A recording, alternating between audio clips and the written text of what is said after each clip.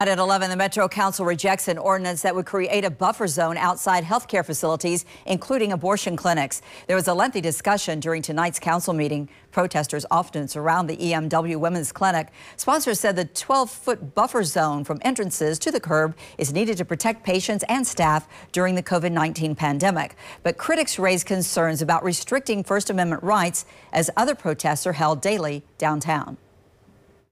Our job today is to determine whether or not we're overreaching on First Amendment rights to protest. We should not be focusing on what the message is.